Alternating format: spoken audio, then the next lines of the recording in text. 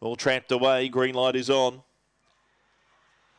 Favourite Just Jimmy Cheesecake, Malicious Yellow, heavily backlayed on the toad. Racing, Malicious Yellow left okay. Stunning one goes forward along with Jimmy's Cheesecake.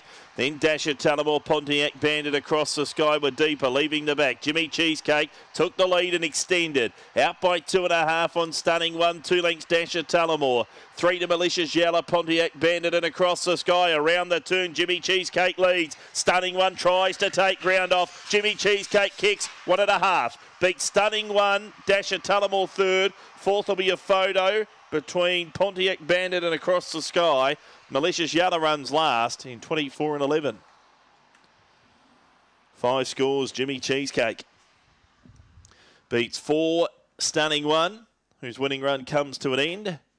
And uh, Dasher Tullamore third, fourth will go to Pontiac Bandit number seven. Five, four, two, and seven after the second last. Was a half length by one and three quarters in 24 and 11. 659, 11, 54. They ran home in 12 and 67.